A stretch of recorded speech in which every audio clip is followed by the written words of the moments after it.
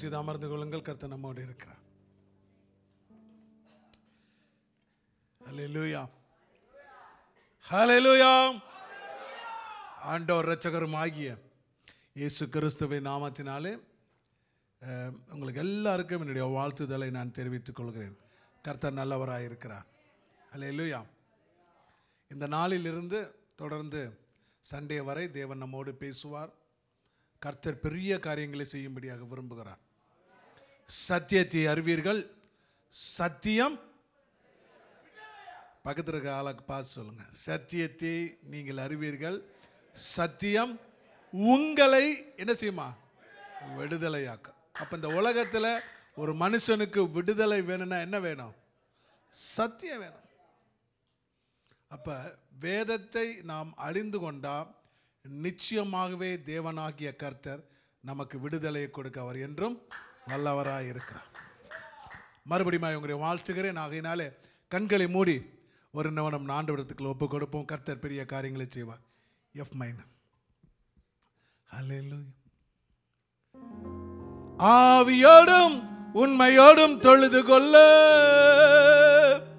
உற்சாகத்தின் ஆவியாய் வாருமே. ஆவியோடும் உண்மையோடும் தொழுது கொள்ள உற்சாகத்தின் ஆவியாய் வாருமே.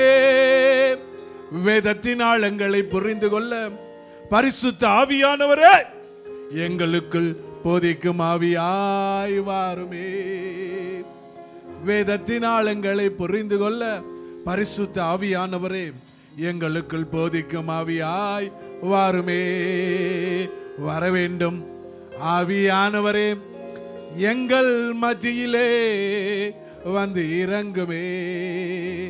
வர வேண்டும் ஆவியானவரே எங்கள் மத்தியிலே வந்து இறங்குமே. இறங்குமே. இறங்குமே. அக்னியாய் வந்து நிரப்புமே. ஆ இறங்குமே இறங்குமே அக்னியாய் வந்து நிரப்புமே. நல்ல பிதாவே எங்களோடு பேசுங்க. தேவனுடைய நாம மகிமைப்பட உதவி செய்யுங்க. தொடர்ந்து தேவனுடைய வார்த்தை வெளிவர ஆவியானவர் எங்களுக்கு உதவி செய்யுங்க. இயேசுவின் நாமத்தில் ஜெபிக்கிறேன் நல்ல பிதாவே. ஆமேன். அல்ல லூயா இந்த வேதத்தை நம்ம கையில் இருக்கிற பரிசுத்த வேதாகமத்தை நமக்கு கொடுத்தவர் யார்? யார்?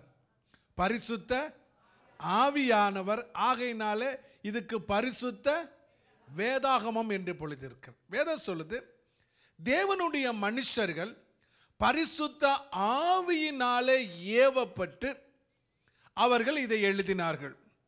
ஹலே லூயா அப்போ இந்த வேதம் பரிசுத்த ஆவியினாலே அவருடைய ரிவலேஷன் அவருடைய காரியங்கள் அவருடைய எல்லா காரியத்தையும் அவர் பங்கு பங்காக வகை வகையாக இது சொன்னதினால எழுதப்பட்டது. ஹலெல்லுயா இன்னைக்கு இந்த நாலு நாளில் இந்த காரியம் உங்களுக்கு புரியலைன்னா எதுவுமே புரியாது.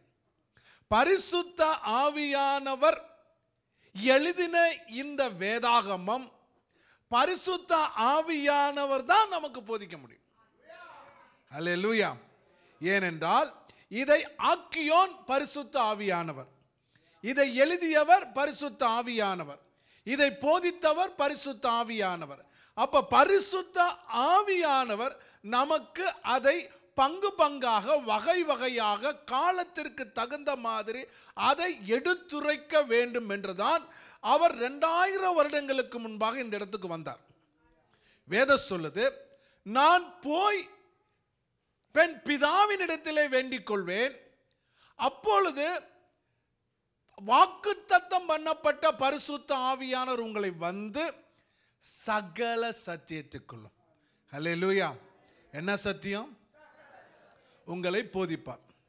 ஒருவேளை நீங்க யோசிக்கணும் அவர் ஒரு நூறு வருடம் வந்து அவர் சகல சத்தியத்துக்குள்ள நடத்திட்டு போயிருந்திருக்கலாம்.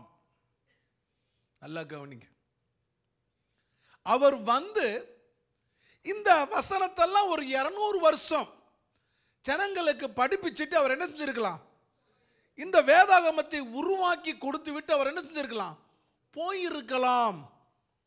ஆனால் வேதம் சொல்லுகிறது திரும்ப இயேசு மத்திய ஆகாயத்தில் வருகிற வர ரகசிய வருகையில் நாம் எடுத்துக்கொள்ளுகிற வர கிருபையின் காலம் இருக்கிற வர இந்த பரிசுத்த ஆவியானவர் நம்மோடு இருப்பார் என்று வேதம் சொல்லுகிறது.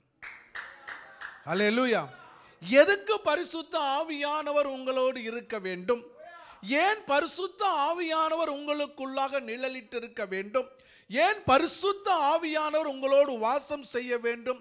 என்றா நீங்களும் நானும் ஒரு உண்மையை புரிந்து கொள்ள வேண்டும்.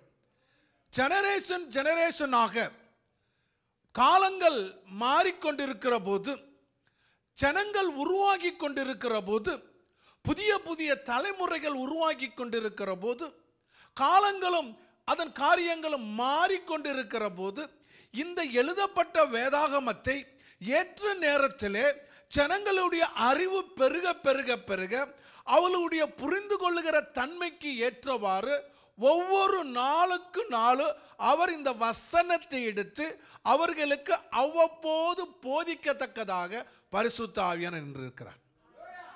அல்லூயா இன்னைக்கு பரிசுத்த ஆவியானவர் இல்லைன்னா இந்த ஜெனரேஷன் ஆகிய நீங்களும் நானும் புரிந்து கொள்ள முடியாது.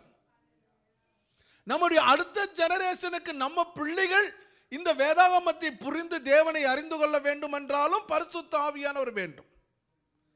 அல்லா அப்ப இந்த ரெண்டாயிரம் வருடங்களாக வேதம் சொல்லுத டே ஆஃப் பெந்தகோஸ்ட் பெந்தகோஸ்து நாளில் இருந்து ஆவியானவர் இன்று நம்மோடு இருக்கிறார்.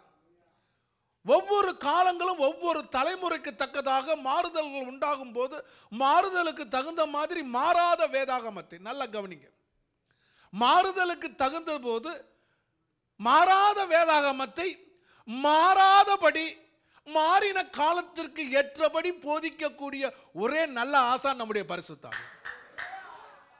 புரியுதா நான் சொல்றது? இவர் இல்லாம ஒருவனும் நமக்கு போதிக்க முடியாது. ஏனென்றால் கடைசி காலத்தில் பொதுவா நம்ம இந்த இருக்கிற காலத்தில் நூதன உபதேசங்கள் வஞ்சிக்கிற உபதேசங்கள் கள்ள உபதேசங்கள் பெருகி கொண்டு இருக்கிற இந்த நாட்களில் பரிசுத்த ஆவியானவர் நமக்கு தெளிவான உபதேசத்தை கற்றுத் தரவில்லை என்றால் நீங்களும் நானும் வஞ்சிக்கப்பட்டு போய்விடுவோம். அல்லேலூயா இந்த பிசாசானவன் நம்மை வெளியே இருந்து வஞ்சிக்கிறவன் அல்ல வேதாகமத்தை வைத்தே நம்மை வஞ்சிக்கிறவனாய் இருக்கிறான். ஏனென்றால் இயேசுவை வஞ்சிக்கும்படியாக இயேசுவை சோதிக்கும்படியாக அவன் யூஸ் பண்ணின வார்த்தைகள் வேதாகம வார்த்தைகள் தான் அல்லேலூயா வெளியே இருந்து நம்ம அவன் ஒன்று கவுக்க மாட்டான் உள்ளிருந்தே கவுக்கக்கூடியவன். ஆகையினால கத்தருடைய பிள்ளைகள் இந்த கடைசி காலத்தில் வேதத்தினுடைய காரியங்களை ரொம்ப நேர்த்தியாய் அறிந்திருக்க வேண்டும். அல்ல லூயா அப்ப எழுதப்பட்டதை எழுதப்பட்டதை எடுத்து காலத்திற்கு தகுந்த மாதிரி சொல்லுகிற ஒருவர் பரிசுத்த ஆவியானவர். அப்போ எழுதினவனும் அவர்தான் அதை போதிக்கிறவரும் அவர்தான். காலங்கள் மாறினாலும் கருத்து மாறினாலும் மாறாத ஒருவர் பரிசு ஆவியானவர். லூயா பாருங்க வேதம் மாறாது ஆவியானவர் மாற மாட்டார் ஆனால் காலங்களும் நீங்களும் நானும் மாறிக்கொண்டு இருக்கிறோம் அல்லேலூயா ஒவ்வொரு காலங்கள் மாறுகிறது. இயேசுவுக்கு பின்பாக இரநூறு வருடங்களுக்கு பின்பாக சபை மாறினது. சபை மாற்றத்திற்கு பின்பாக புதிய புதிய இயேசுவின் பெயரை கொண்டு புதிய புதிய ஸ்தாபனங்களும் சபைகளும் உருவாயின.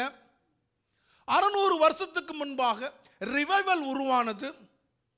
முதலாவது கால்வின் என்பவர் ரிவைவலை உருவாக்கினார். அவருக்கு பின்பாக மார்ட்டின் லூதர் என்று புரொட்டஸ்ட் பண்ணி ரிவைவலை உருவாக்கினார். இப்படி காலங்கள் மாறிக்கொண்டிருந்த போது ஆவியானவருடைய வெளி கிரிப்பட கிரியைகள் வராமல் இருந்தது. ஆனாலும் அவர்கள் தேவனை அறிந்து புரொட்டஸ்ட் பண்ணி செய்வது தப்பு என்று மனம் திரும்பி அவர்கள் மாறுதலை கொண்டு வந்தார்கள். காலம் வரும்போது இருநூறு வருடத்திற்கு முன்பாக உலகம் முழுவதும் அதாவது ரிவைவல் எப்படி உருவானது என்றால் அது எப்படிப்பட்ட ரிவைவல் அது evangelical revival preach the gospel preach the gospel preach the gospel but no holy spirit hallelujah ஆனா அவர்களுக்கு அந்த காலத்தில் அதுதான் கொடுக்கப்பட்டது. ஆவியானவர் அதை தான் அவர்களுக்கு சொன்னார். ஏன்னா அந்த நாட்களிலே அவர்களுக்கு அது தேவையில்லையோ நமக்கு தெரியாது. பட் பரிசுத்த ஆவியானவருடைய திட்டம் அப்படி இருந்தது. ஆனால் இப்பொழுது கடுமையான ஒரு பயங்கரமான காலத்தில் வாழ்ந்து கொண்டு இருக்கும்போது இந்த இருநூறு வருடங்களாக பரிசுத்த ஆவியானவர் கிரியை வெளிப்பட்டது. பரிசுத்த ஆவியானவர் ரிவைவாக தொடங்கி விட்டார் இன்னைக்கு அவர் பகிரங்கமாக வெளிப்பட்டு கிரியை செய்கிறார். வேதம் சொல்லுது கடைசி காலத்தில் மாமிசமான யாவர் மேலே என் ஆவியை ஊற்றுவேன் கடைசி காலத்தில். ஸோ எப்போ அதிகமாக ஆவியானவர் ஊற்றப்பட்டு கொண்டிருக்கிறாரோ அப்பயே நீங்கள் தெரிந்து கொள்ளணும் நம்ம எங்கே இருக்கிறோம். கடைசி காலத்தில் இருக்கிறோம். அப்போ நீங்களும் நானும் ஒரு காரியத்தை உணர்ந்து கொள்ள வேண்டும். பேசுகிற தேவன். அவர்தான் பரிசுத்த ஆவியானவர். அப்ப நீங்களும் நானும் இந்த கடைசியில் வேதம் சொல்லுகிறது ஆண்டவராகி இயேசு சொன்னார் இயேசு அங்கே இருக்கிறார் இயேசு இங்கே இருக்கிறார் என்று சொன்னா நீ என்ன செய்யாத? ஓடாத நம்பாத. ஹalleluya. ஏனென்றால் நான் வருகிற நேரத்தை பிதா ஒருவனை தவிர குமாரனும் அறியார் என்று வேதம் சொல்லுகிறார் காலங்களும் காலத்தினுடைய காரியங்களும் ஆதீன காலத்திற்கு ஒப்ப பிதாவினாலே அது வரையறுக்கப்பட்டிருக்கிறது. அதை மனிதனும் நீங்களும் நானும் அறிந்து கொள்ள முடியாது. ஆனால் இந்த காலம் இப்படி இருக்கலாம் என்று நமக்கு ஒரு குழு அப்படியாக ஒரு காரியத்தை கொடுத்து சென்றவர் நமது ஆண்டவராய் இயேசு கிறிஸ்து. பரிசுத்த ஆவியானவர் வரும்போது சுயமாய் ஒன்றும் பேசாதபடி இயேசு சொன்னவைகளை நமக்கு நினைப்பூட்டுவார். இயேசு என்ன சொன்னாரு? இந்த காலத்தில் வரும்போது நான் வருகிறக்குரிய காலங்கள் இருக்கும் என்று சொன்னதுனால அதை தான் எடுத்து சொல்லுவார் அவருடைய கால்குலேஷன் ஒன்று புதிதாக சொல்ல மாட்டார். அல்லேலூயா அப்ப பரிசுத்த ஆவியானவருடைய காரியம் என்ன? பரிசுத்த ஆவியானவருடைய நடைமுறைப்படுத்துதல் என்ன? பரிசுத்த ஆவியார் நம்மை எப்பை நடத்துவார் என்று இந்த புதிய ஏற்பாட்டு விசுவாசிகளாகிய நீங்களும் நானும் அறிந்து கொண்டால் நலமாக இருக்கும். அல்லேலூயா இதெல்லாம் எதுக்கு நான் உங்களுக்கு சொல்லுகிறேன் என்றால் முன்னுரை இல்லாமல் உங்களுக்கு பின்னுரை விளங்காது. புரியாது. ஆகையினால இதெல்லாம் உங்களுக்கு எடுத்து சொல்லுகிறேன். அப்போ கத்தருடைய பிள்ளைகளாக நீங்க. காது கொடுத்து வேத சொல்லுது காதுள்ளவன்? கேட்க கேட்டு அதை புரிந்து அதை அப்பியாசப்படுத்தும் போது தேவன் உங்களை ஆசீர்வதிக்க வல்லவராக இருக்கிறார். ஹalleluya அப்ப பரிசுத்த ஆவியாவனாராலே எழுதப்பட்டது அது லோகாஸ். பரிசுத்த ஆவியானவராலே காலத்துக்கு தகுந்த மாதிரி எடுத்துரைப்பது ரேமா. ஏற்கனவே உங்களுக்கு சொல்லியிருக்கேன் பலமுறை லோகாசும் ரேமாவும். இதை ரெண்டையும் சரியாக புரிந்து கொண்டாதான் தேவனுடைய சத்தத்தை நான் புரிந்து கொள்ள முடியும். ஹலே லூயா அப்போ இருப்பதிலிருந்து எடுத்து கொடுக்கிறது தான் பரிசுத்த ஆவியானவர். இல்லாததை அவர் புதிதாக சொல்ல மாட்டார். ஏனென்றால் எழுதினதும் அவர்தான் எழுதப்பட்டதிலிருந்து எடுத்துரைப்பதும் அவர்தான். அல்லேலூயா ஏனென்றால் வேதம் சொல்லுகிறது அவர்தான் எழுதியிருக்கிறார். இந்த வார்த்தையோடு ஒரு வார்த்தையை கூட்டவும் கூடாது குறைக்கவும் கூடாது. அந்த சட்டம் அவருக்கும் மட்டும் மட்டுமல்ல நமக்கும் தான் எல்லாருக்கும் தான். அவரும் கூட்ட மாட்டார் அவரும் குறைக்க மாட்டார். உங்களையும் கூட்ட விட மாட்டார் உங்களையும் குறைக்க விட மாட்டார். இப்படி பல நியமங்களில் அடிப்படையிலே வேதங்கள் இந்த நாளில் நமக்கு போதிக்கத்தக்கதாக இருக்கு. அப்போ நீங்களும் நானும் அதை அறிந்திருந்தாதான் இந்த நாட்களில் கடைசியாக நிலைநிறுக்க முடியும். அல்ல லூயா அப்போ இந்த நாளில் பார்த்தீங்கன்னா எங்கே பார்த்தாலும் கள்ள உபதேசங்கள். ஒருவன் வந்து சின்ன நாலு வயது பிள்ளை வந்து சொல்லுது ஏசு என்னோடு ராத்திரி பேசினார். எட்டு வயது பிள்ளை சொல்லுது ஏசு என்னோடு பேசினார். பாவத்தில் வாழ்ந்திருக்கிறவன் சொல்லுகிறான் தேவன் என்னோடு பேசினார். சாட்சி இல்லாதவன் சொல்லுகிறான் நான் கர்த்தரை தரிசனத்தில் கண்டேன் என்று. இப்படி கடைசி காலத்தில் டிவியை திறந்தா இன்டர்நெட்டை திறந்தா யூடியூப்பை திறந்தா எல்லா இடத்துலையும் எல்லாரும் பேசினாங்க. ஆனால் இது உண்மையா பொய்யா என்பது நமக்கு கேள்விக்குறியா இருக்கிறது. அல்ல லூயா வேதம் சொல்லுகிறது நாற்பது வருடங்கள் ஊழியத்தில் முப்பது வருடங்கள் ஊழியத்தில் இருக்கிறவர்கள் தேவன் பேசலை. பிறந்து நாலு வயதோடு தேவன் பேசினார் என்பதை குறிக்கும் போது இவர்களுக்கே தங்களுடைய விசுவாசத்தை குறித்து ஒரு கேள்விக்குறி உண்டாகிற நிலைமை இன்னைக்கு உண்டாயிருக்கிறது. அல்லூயா அப்படின்னா இது உண்மையா? இது நம்பலாமா? இது கிரியை செய்யுமா? என்ற ஒரு கடைசி காலத்தில் வாழ்ந்து கொண்டிருக்கிறோம். டிவியை திறந்தா நான் பரலோகம் போனேன் எட்டு முறை போனேன் பதினெட்டு முறை போனேன் இருபத்தோரு முறை போனேன். எதை நம்புவது? அல்லேலூயா இல்லாததை வந்து சொல்லும்போது நம்ப முடியவில்லை. வேதம் சொல்லுது பரலோகத்தை குறித்து வேதம் தெளிவாக எழுதி வைத்திருக்கிறது. எழுதி வைத்தது நமக்கு போதும். அல்லேலூயா எழுதி வைத்திரு எடுத்துரைக்கிற பரிசுத்தம் ஆவியான நமக்கு போதும். ஒரு புதிய வெளிப்பாடுகள் எழுதாத வெளிப்பாடுகள் நமக்கு அவசியம் இல்லை. அப்ப நம்பும் போது நீங்கள் பாதாளத்துக்குள்ளாக தள்ளப்படுகிறீர்கள். என்று பிதாஸ் பிசாஸ் உங்களை வஞ்சிக்கிறான் என்று நீங்கள் நினைத்து கொள்ள வேண்டும். அல்லேலூயா அப்போ எழுதப்படாததை ஒருவன் கூட்டி சொல்லும்போது நீங்கள் கவனமாக இருக்க வேண்டும் என்று வேதம் சொல்லுகிறது. இன்னைக்கு வேதத்தில் தேவன் எப்படி பேசுவார் எப்படி இடைப்படுவார் எப்படி நீங்கள் அறிந்து கொள்ள முடியும் எப்படி நீங்கள் கடைசி காலத்தில் நிலைத்திருக்க முடியும் பேசுவது இயேசுதானா பேசுவது தேவன் தானா பேசுவது பரிசுத்த ஆவியானவர் தானா என்பதை நீங்களும் நானும் அறிந்து கொள்ள வேண்டுமானால் நமக்கு இருக்கிற ஒரே வழி பரிசுத்த வேதாகமம். இதை மீறி நீங்க ஒன்றும் பெரிய ஆள் ஆக வேண்டிய அவசியம் கிடையாது. அல்லேலூயா பரிசுத்த ஆவியானவருக்கு மேல நீங்க அறிவாளியா ஆக வேண்டிய அவசியமும் கிடையாது. அல்லேலூயா நீங்களும் நானும் ஞானவானாலா இருக்கலாம். ஆனால் தேவனுக்கு புத்தி சொல்லுகிற ஞானவான்களை என்ன செய்யக்கூடாது? மாறிடக்கூடாது. Today the people is teaching to God they are not listening but teaching தேவனுக்கு போதிக்கக்கூடிய கிறிஸ்தவராக நம்ம மாறிவிடக்கூடாது. அல்லேலூயா தேவனிடத்திலிருந்து பெற்றுக்கொள்கிறவர்களாக மட்டும்தான் மாறணும். வேதத்தில் நீங்கள் ஆதி ஆகமத்திலிருந்து வெளிப்படுத்தல் வரைக்கும் நீங்கள் படிச்சீங்கன்னா தேவன் கொஞ்சம்தான் பேசினார் பேசினாரு அநேக தரம் கேட்டார். அல்லேலூயா.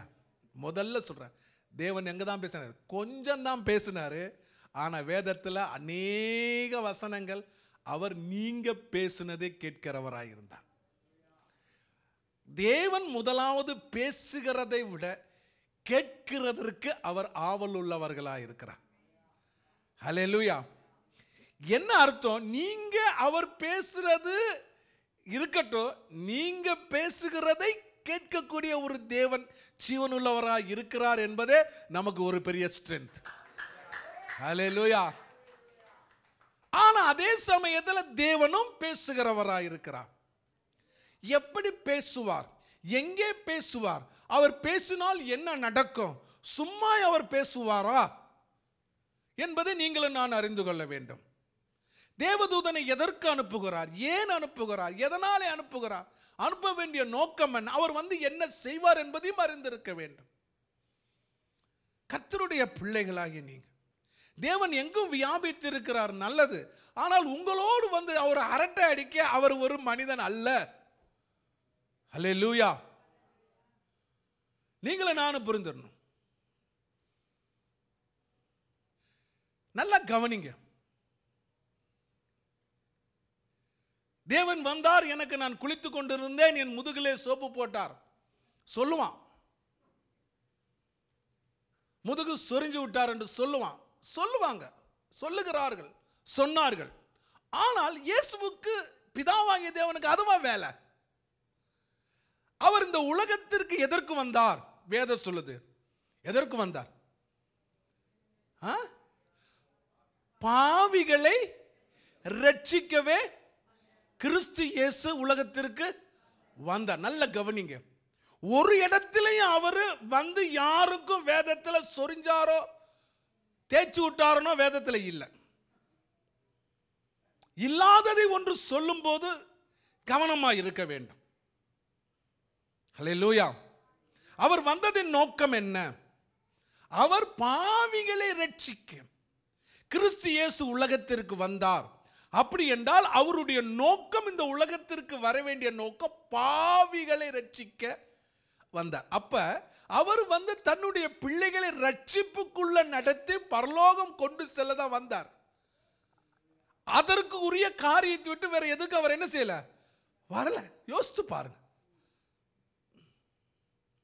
கத்தர் பிள்ளைகள் இயேசு ஒரு முறை கழுவி தன்னுடைய தாழ்மையை வெளிப்படுத்தினார். அல்லூயா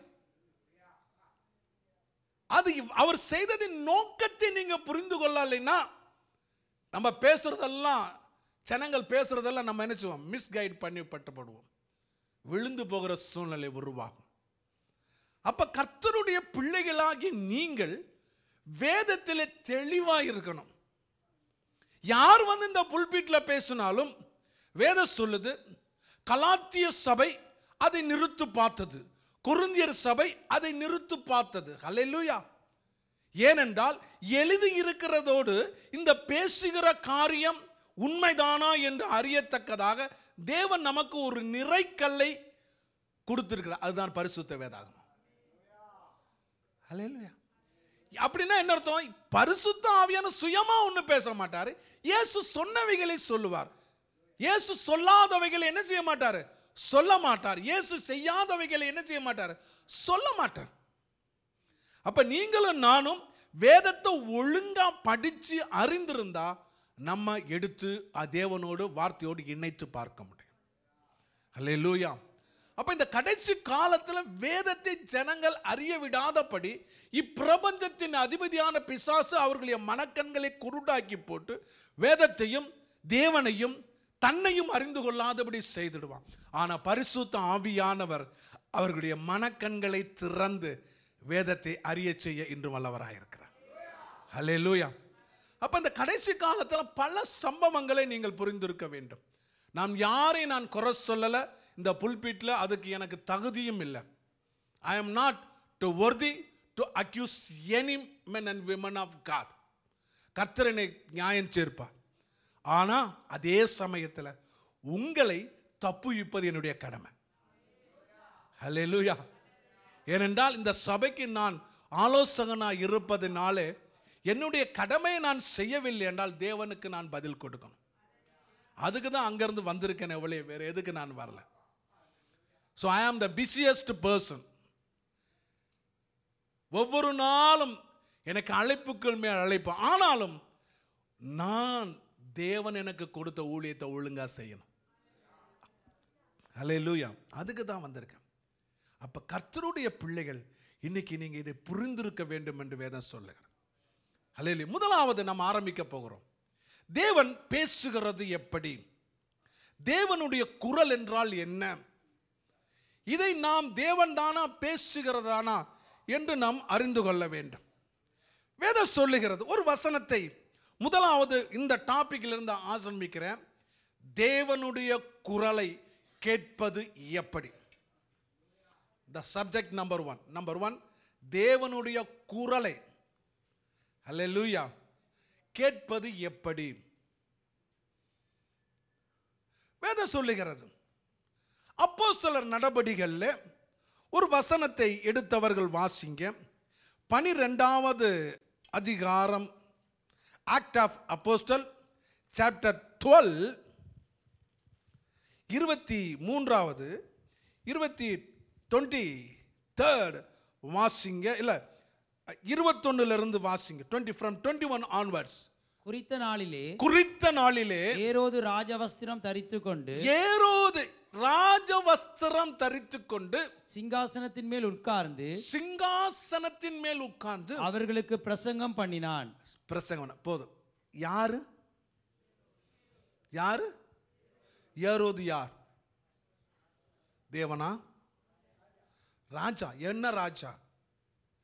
தேவனுக்கு விரோதமான ராஜா ஏரோது என்பது பிசாசை குறிக்கிறது. ஏரோது என்பது சாத்தானை குறிக்கிறது. ஏரோது என்பது தேவனுடைய மக்களை துன்பப்படுத்துகிற ஒரு அராஜகம் உள்ள ராஜாவை குறிக்கிறது.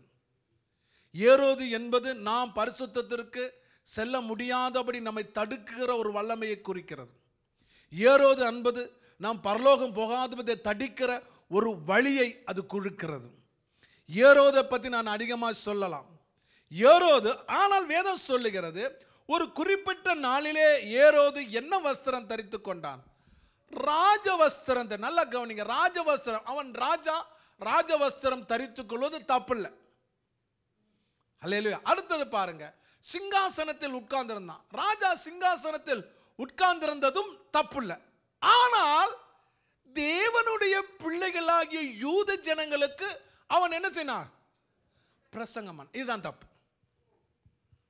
நல்ல கவனி. முதல் ரெண்டும் தப்பு கிடையாது. ஆனால் மூணாவது ஒரு காரியம் செய்தா பாருங்க. யாருக்கு பிரசங்கம் பண்ண? அவன் வந்து அவனுடைய ஜனங்களுக்கு பிரசங்கம் பண்ணியிருக்கலாம். ஆனால் அவன் பிரசங்கம் பண்ணினது யாருக்கு? யூத ஜனங்களுக்கு. யூத ஜனங்களுக்கு யார் பிரசங்கம் பண்ணுவது? தேவனால் அபிஷேகம் பண்ணப்பட்ட ஆசாரியனும் லேவி கோத்திரத்திலிருந்து தெரிந்தெடுக்கப்பட்டதுமானவன் தான் அது என்ன செய்யணும் பிரசங்கிக்க பண்ணணும் அதுதான் நியமம். அதுதான் நியாயம். அதுதான் சட்டம். அதுதான் வேதம் சொல்லுகிறது. ஆனால் பிரசங்கம் பண்ணது யாரு? ஏறுது அவன் ராஜாவா இருக்கலாம். அவன் மந்திரியா இருக்கலாம். அவன் உயர்ந்த அந்தஸ்தில் இருக்கலாம். தேசத்தினுடைய அதிபதியா இருக்கலாம். அவன் பிரசிடண்டா இருக்கலாம். ஆனா அவனுக்கு தேவனுடைய சபையிலே பிரசங்கம் பண்ணுவதற்கு அவனுக்கு என்ன இல்லை? அதிகாரம் இல்லை. முதலாவது வேதம் சொல்லுகிறபடி இவன் அதிகாரம் இல்லாத ஒரு காரியத்தை தன்னுடைய கரத்தில் ஏந்தினான். பிசாசு கடைசி காலத்தில் இதை தான் செய்வான். என்ன செய்வான்? பெரிய அரசியல்வாதிகளை பெரிய மந்திரிமார்களை நல்லா கவனிங்க. பெரிய மந்திரிமார்களை பெரிய பிரசிடென்ட்டை பெரிய பணக்காரர்களை பெரிய வல்லுனர்களை பெரிய உலக ஞானவான்களை கிறிஸ்தவ மேடையில் உட்கார வைத்து அவர்களை கிறிஸ்தவ ஜனங்களுக்கு வாழ்த்துரை சொல்ல வைக்கிறதே வேதத்தின் அடிப்படையில் பாவம்.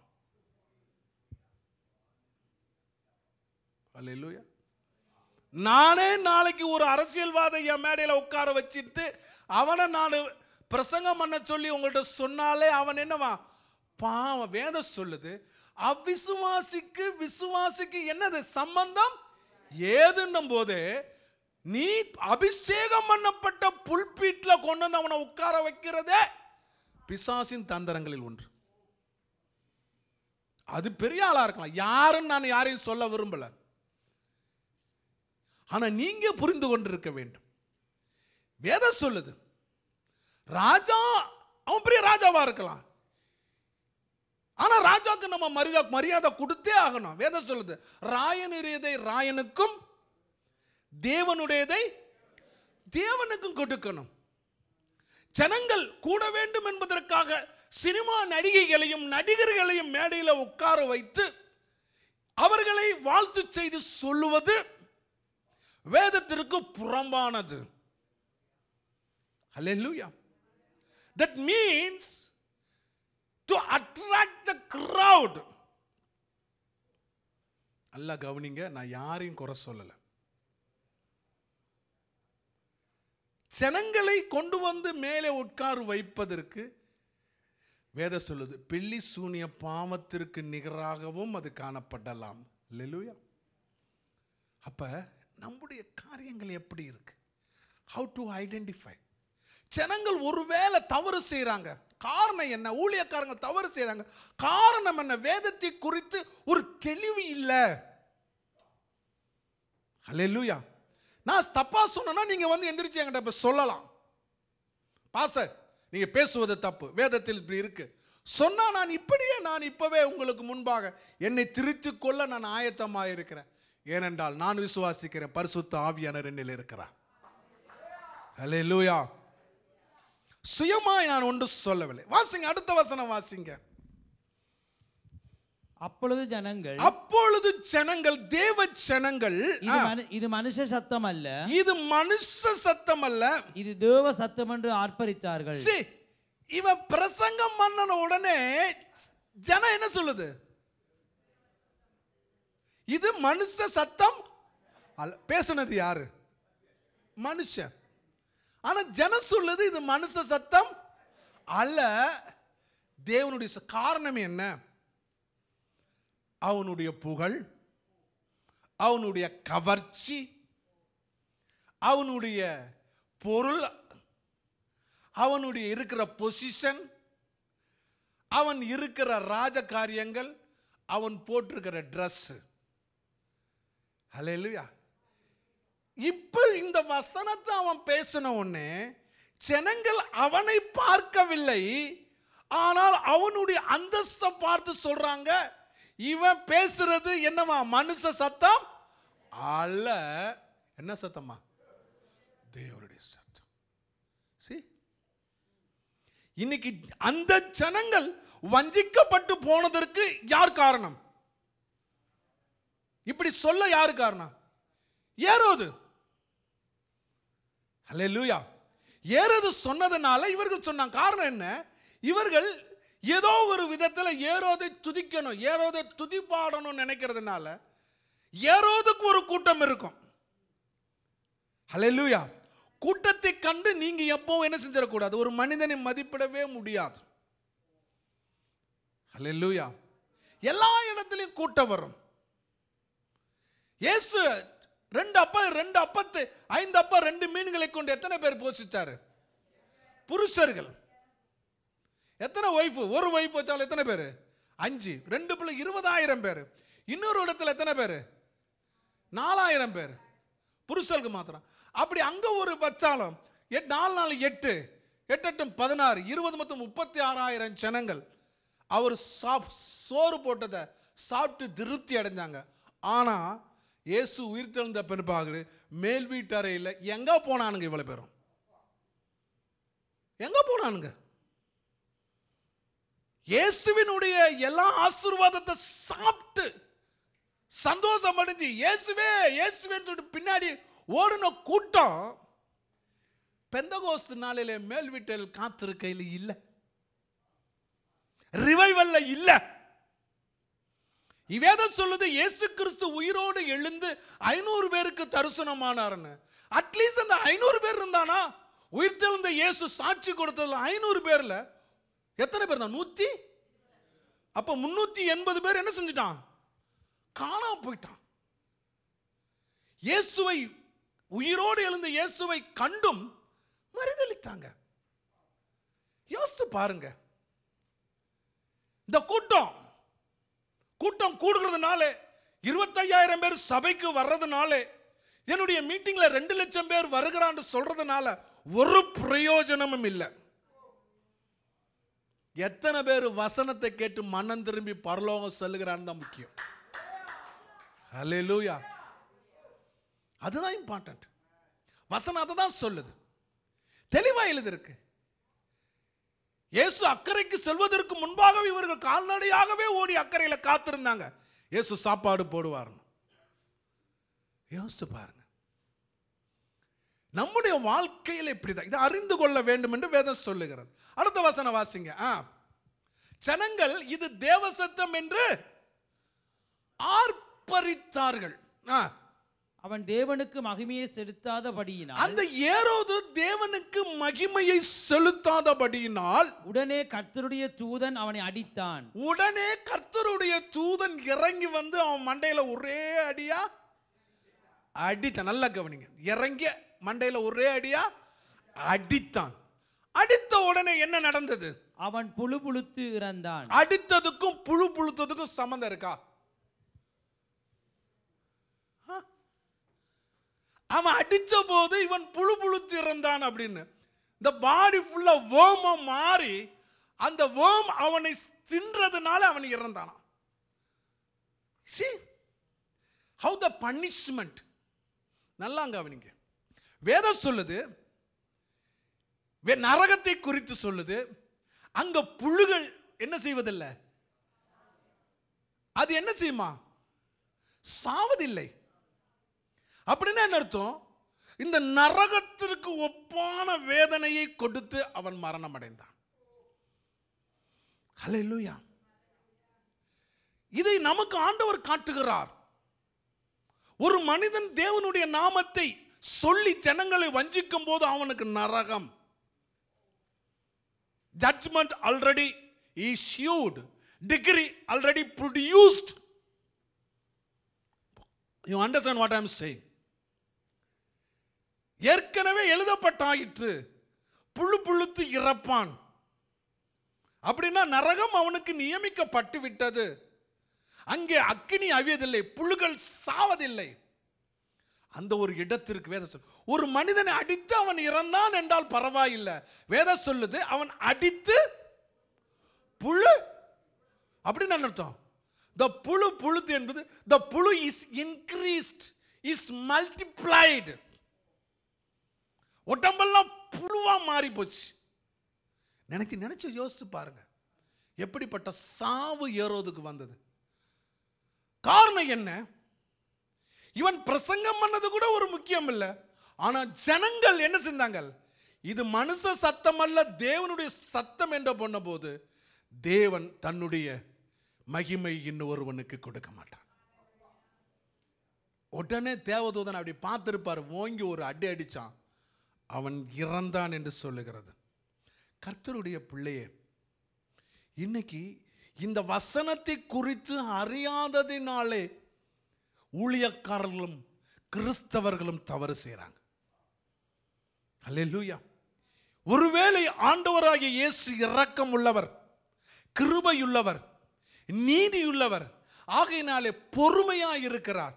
ஆனா அவர் இன்னைக்கு இதே மாதிரி அடிக்க ஆரம்பிச்சிட்டாங்கன்னா எத்தனை ஊழியக்காரங்க எத்தனை அரசியல்வாதி இந்த உலகத்தில் இருப்பான்?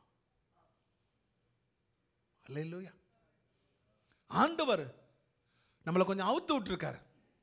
ஒரு நாய்க்குட்டி இருக்கு. நான் அடிக்கடி சொல்லுவேன். நாய்க்குட்டியை நம்ம இருக கட்டி போடுறது கிடையாது.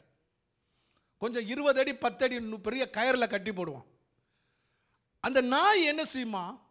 ஒரு அஞ்சடி தூரத்தில் பத்து ரெண்டு அடி தூரத்தில் ஒரு எலும்பை போட்டால் ஓடி போய் கவ்வும். அப்போ அதுக்கு நாய்க்கு தெரியாது. நமக்கு கயிறு கட்டியிருக்கேன்னு. ஏன்னா இஷ்டப்படி மூவ் பண்ணலான்னு. அதே ஒரு எலும்பு துண்டை ஒரு பதினஞ்சு அடி தள்ளி போடும்போது அது போகும்போது அஞ்சடிக்கு மேலே அது என்ன செய்ய முடியாது? போக முடியாது. கழுத்தை பிடிச்சி என்ன செய்யுமா? கயிறு இழுக்கும்போது ஐயோ நம்ம மாட்டிக்கிட்டோமேன்னு தெரியும். இயேசுவின் வருகை வருகிறவ அப்போ தான் புரியும். நம்ம மாட்டிக்கிட்டோம்னு. அது வரைக்கும் லோக்கலில் சுற்றும் போது நமக்கு தெரியாது. வேதம் தெளிவாய் சொல்லுகிற ஹalleluya கத்தருடைய பிள்ளை. தேவனுடைய சத்தம். இதை தேவன் தான் பேசினாரா என்று ஒரு ஜனங்கள் கேட்கிறதற்கு அவர்களுக்கு புரிந்து கொள்ள முடியல. இன்னைக்கு இதே நிலைமையில தான் கடைசி காலத்துல ஜனங்கள் இருக்கிறார்கள். பேசுவது தேவனா? இல்லது பேசுவது ஏரோதா? இல்லது பேசுவது பிசாசா? இல்லது பேசுவது மனிதனா என்று. ஆனால் ஜனங்கள் ஆர்ப்பரிக்கிறார்கள். யோ தேவனுடைய சத்தம். தேவன் கேட்கிறான் என்று. ஏனென்றால் அவன் பேசுவது தங்களுக்கு சாதகமாக இருக்கிறது ஹலெல்லூயா கண்டித்து உணர்த்தாத ஒரு வசனம். பாவத்தை குறித்து கண்டிக்காத ஒரு வசனம். ஆசீர்வாதத்தை மட்டும் பிரசங்கிக்கிற ஒரு வசனம்.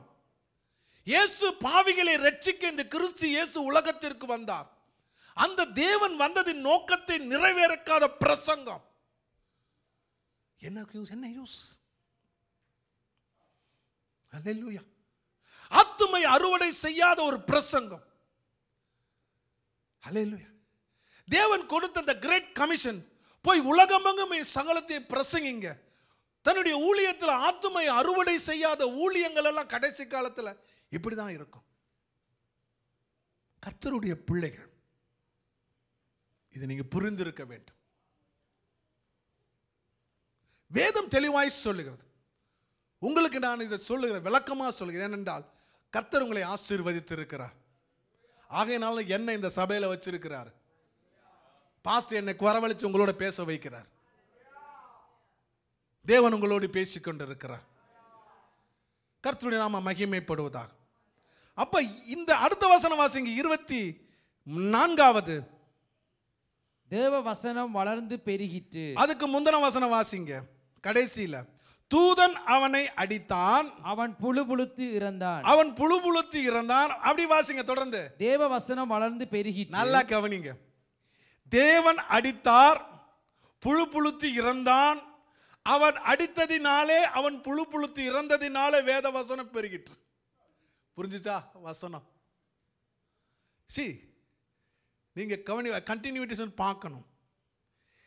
எரோது செத்ததுனால வசனம் என்ன செஞ்சிருச்சான் பெருகிருச்சான் சி வசனம் பெருக வேண்டுமானால் இப்படிப்பட்ட ஏரோதுகள் என்ன செய்யுமா?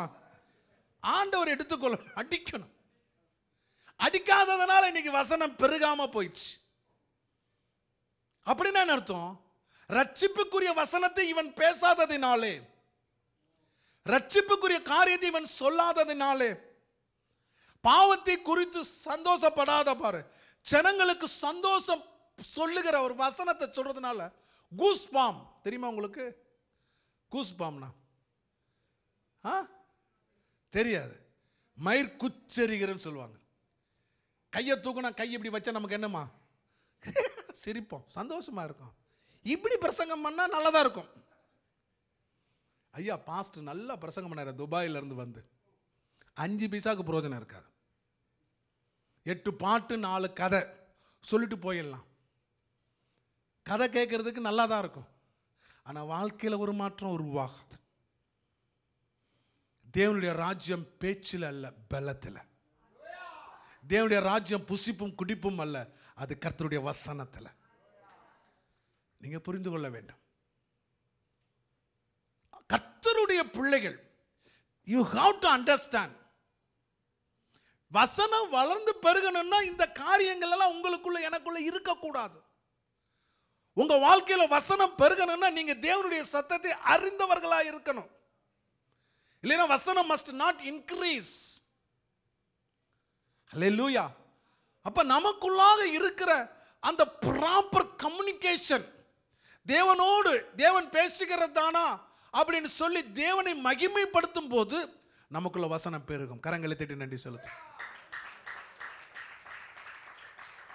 இல்லைன்னா பெருகாது. நான் சொல்லுகிறேன் மறுபடியும் சத்திய தேர்விகள் சத்தியம் உங்களே விடுதலையாக்கும் சத்தியம் அறிஞ்சாதான் சத்திய விடுதலையாக்கும் மற்றதெல்லாம் டெம்பரவரி தான். இன்னைக்கு உங்களுக்கு வயிற்று வலி வருது.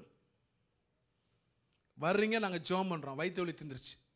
நாளைக்கு இடுப்பு வலி வராதுன்னு என்ன நிச்சயம்? ஹலோ கால் வலி வராதது என்ன நிச்சயம்? கேரண்டி இருக்கா? ஆனால் வேதமழகாய் சொல்லுகிறது. சத்திய அறிவீர்கள் சத்தியம் உங்களை விடுதலையாக்கும். சத்தியம் விடுதலையாக்குனா வேற யாரும் உங்களை தொட முடியாது. பிசாசு தொட முடியாது. You are hundred percent delivered your body soul and spirit Hallelujah. அங்கே இங்கே ஓடாத? Concentrate your scripture concentrate your word understand your word hallelujah என்ன மாதிரி ஒரு புத்தக புழு உலகத்தில் எத்தனை பேருங்க தெரியும்? நானும் ஒரு ஐ த புஸ்தகம் படிக்கிறதுல ரொம்ப இன்ட்ரெஸ்ட் ஆனவன். சின்ன வயசுலேருந்து ஸ்கூல் புஸ்தகம் இவ்வளோ இருக்கும் கதை புஸ்தகம் இவ்வளோ பெருசு இருக்கும்.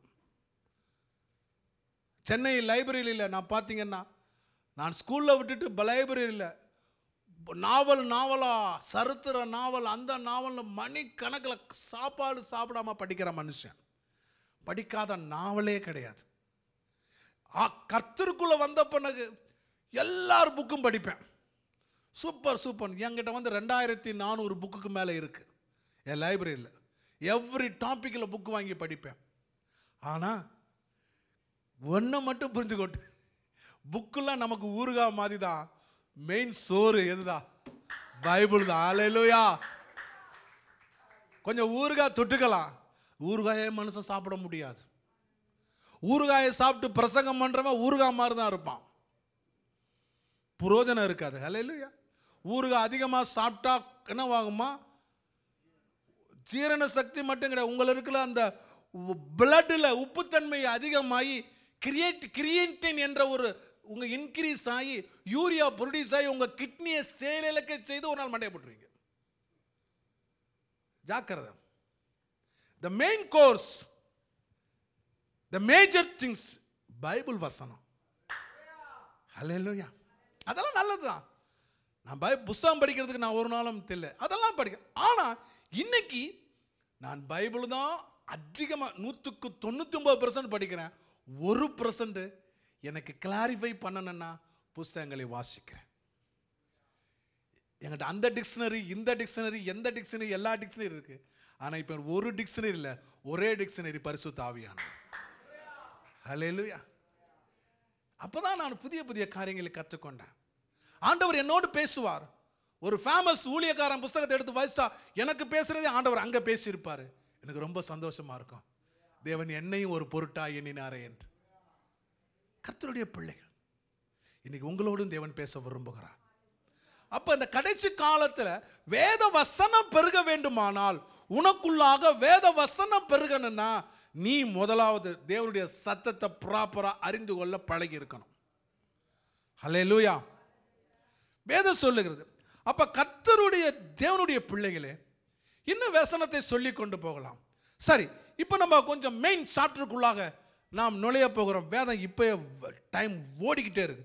கருத்துடைய நாம மகிமைப்படுதாக யாத்திராகம புஸ்தகம் பழைய ஏற்பாட்டில் நம்ம ஸ்டார்ட் பண்ணுவோம். யாத்திராகம புஸ்தகம்.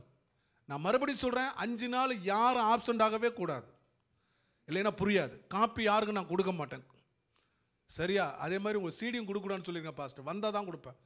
ஸோ எவ்ரிடே இன்னைய விட நாளைக்கு.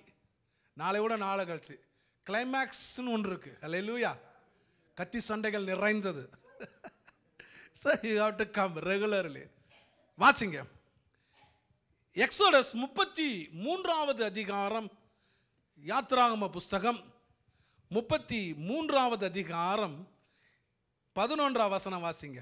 ஒருவன் தன் சிநேகிதனோடு பேசுவது போல ஒருவன் தன் சிநேகிதனோடு பேசுவது போல கர்த்தர் மோசையோடே முகமுகமாய் பேசினார். பாருங்க கர்த்தர் மோசையோடு எப்படி பேசினாராம்?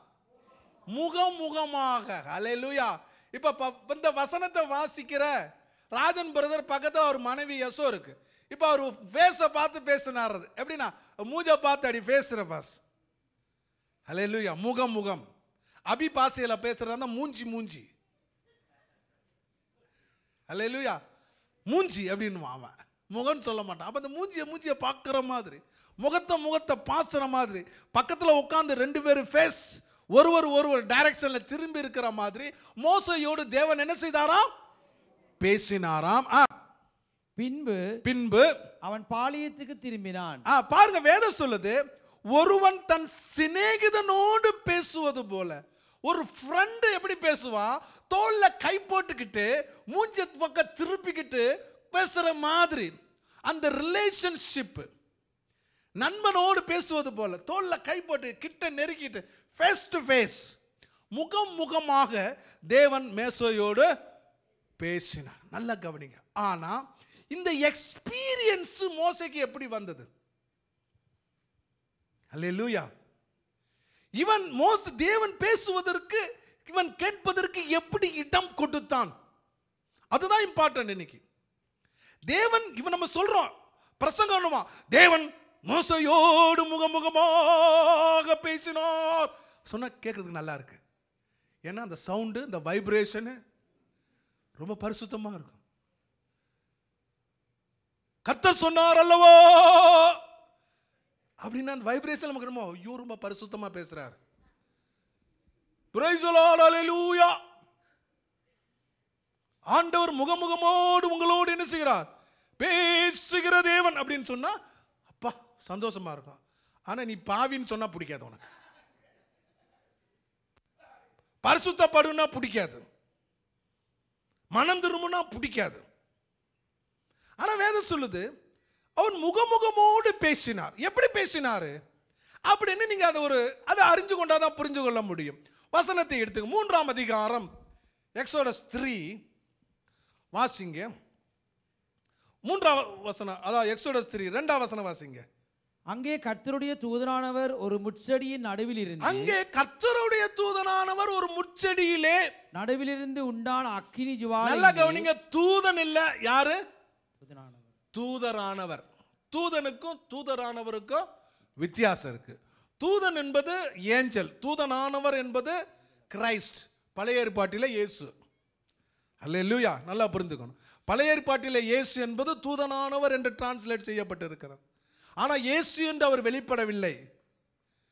அல்லேலூயா. லூயா அவர் இயேசு என்று வெளிப்படுத்தாதனாலே கிறிஸ்து என்று வெளிப்படப்படுத்ததுனால அந்த இடத்துல டிரான்ஸ்லேஷன் தூதனானவர் என்று ஏன்னா அது கூடிய ரெவலேஷன் மோசைக்கு இல்லை. ஆனால் இன்னைக்கு உங்களுக்கு எனக்கு கொடுத்திருக்கிறார் ஆண்டவர். அல்லேலூயா தூதனானவர் வரார். ஆ. உண்டான அக்கினி ஜுவாலையில் நின்று அவனுக்கு தரிசனமானார். அவனுக்கு முதல்ல தரிசனமானார். அப்பொழுது அவன் உற்று பார்த்தான். அப்பொழுது அவன் முதல்ல என்ன செஞ்சான்? உற்று பார்த்தான். ஆ, முட்செடி அக்கினியால் ஜுவாலித்து எரிந்தும். அது வெந்து போகாமல் இருந்தது. முதல்ல தேவன் தரிசனமாகும் போதே ஒரு காரியம் நடக்கும் என்னன்னா பியாண்ட் த நேச்சர் என்னவா? பியாண்ட் த இயற்கைக்கு மேலான ஒரு காரியத்தை அவன் என்ன செய்யறான் பார்க்கிறான். பார்க்கும்போது என்ன செய்யறான் முச்செடி இருக்கிறது ஆனால் முச்செடி அக்னியால் ஜுவாலித்து எரிந்தும். முச்செடிக்கு என்ன இல்லை? பச்சையாக தான் இருக்கு. ஒன்றுமே ஆகலை. அப்ப அடுத்த வசனம் ஆ. அப்பொழுது மோசே அப்பொழுது மோசே இந்த முட்செடி வெந்து போகாது இருக்கிறது என்ன? இந்த முச்செடி வெந்து போகாமல் இருக்கிறதுக்கு ரீசன் என்ன? இவன் மனசுல ஒரு கேள்வி வருது. அதிசயமான காரியம் நடக்குது. இப்படி ஒரு காரியம் நடைபெறுகிறதுக்கு what is the reason what is the begin it one அப்படின்னு ஒரு அதிசயத்துல அதிசயப்பட்டு பிரமிச்சு போய் கிட்ட போய் பார்க்கறான். ஆ. நான் கிட்ட போய் அந்த அற்புத காட்சியை பார்ப்பேன் இந்த அற்புத காட்சியை பார்ப்பேன் நல்ல கவனிங்க. இவன் முதல்ல தூரம் இருக்கிறான் தரிசனத்தை பார்க்குறான் தரிசனமானதை பார்த்து கொஞ்சம் கிட்ட போய் நான் அந்த அற்புத காட்சியை பார்க்கணும்னு சொல்லிட்டு அவன் கிட்ட போக ஆரம்பி நல்லா கவனிங்க. I am telling the truth if you know the truth truth will set you free நீங்கள் கவனிக்கலைன்னா ஒரு வார்த்தை மிஸ் ஆனாலும் உங்களுக்கு புரியாது. கிட்ட போய் பார்க்கும்போது என்ன நடக்குது பாருங்க? அவன் பார்க்கும்படி கிட்ட வருகிற அவன். பார்க்கும்படி முச்செடிக்கு கிட்ட வரும்போது கர்த்தர் கண்டார். கர்த்தர் அதை கண்டார். முட்செடியின் நடுவிலிருந்து தேவன் அவனை நோக்கி இப்ப இப்பதான் முச்செடி கிட்ட கிட்ட வந்த போதுதான் தேவன் பேச ஆரம்பித்தார். கரங்களை தட்டி நன்றி சொல்லுங்க. ஹலோ சாதாரணமா படிச்சா இந்த வசனம் புரியாது. நார்மலா தான் இருக்கும். முச்செடியை பார்க்க கிட்ட வரும்போது தேவன் அவனை நோக்கி மோசே மோசே என்று கூப்பிட்டார். மோசே மோசே என்று கூப்பிட்டார். இவன் அடியேன் இருக்கிறேன் என்று சொன்னான். நல்லா கவனிங்க.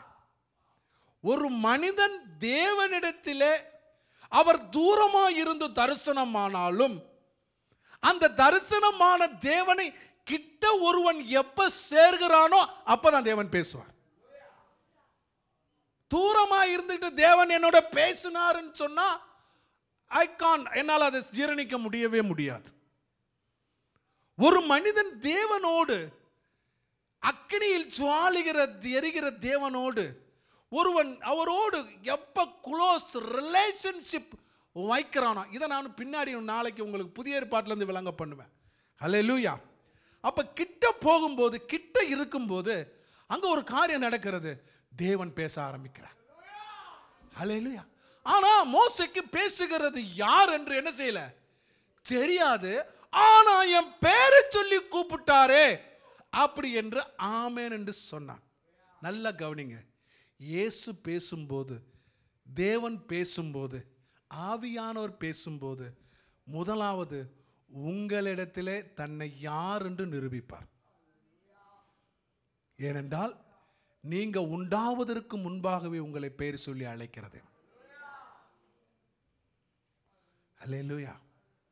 அப்போ மோசே மோசே என்று கூப்பிட்ட உடனே அவன் உடனே சொல்றாரு உன் கால்களை இருக்கிற பாதரட்சியை நீ என்ன செய்? கலற்றி போடு.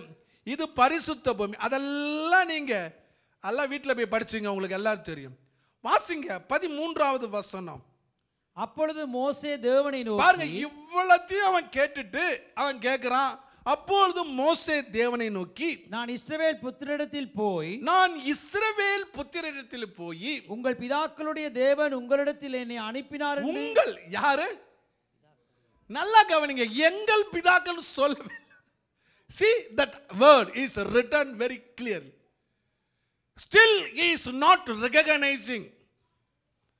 அவன் சொல்றான் ஆண்டவரே உங்கள் பிதாக்கள் நாம் போய் எங்கள் பிதாக்கள் சொல்லலை. ஏன்னா he also from that tribe ஆனால் இவன் சொல்கிறான் உங்கள் ஆண்டவர்கிட்ட கேட்குறான் உங்கள் பிதாக்கள் இடத்திலே ஆ உங்கள் பிதாக்களுடைய தேவன் உங்களிடத்தில் என்னை அனுப்பினார் என்று அவர்களுக்கு சொல்லும் நான் அவர்களுக்கு சொல்லும்போது அவருடைய நாமம் என்ன என்று அவர்களிடத்தில் கேட்டால் அவர்களுடைய நாமம் என்ன என்று அவர்களிடத்தில் கேட்டால் நான் அவர்களுக்கு என்ன சொல்லுவேன் என்றான். நான் அவர்களுக்கு என்ன சொல்ல அப்ப என்ன அர்த்தம்?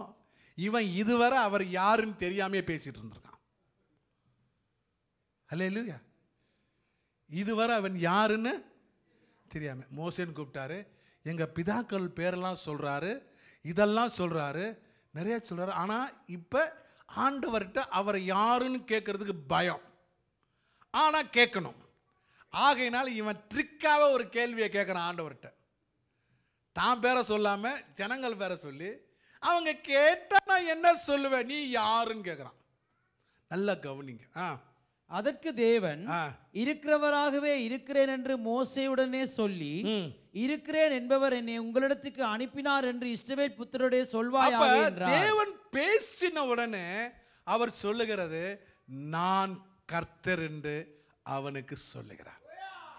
அப்பதான் he ஐடென்டிஃபை ஓ நம்மோடு பேசினது நம்முடைய தேவன்.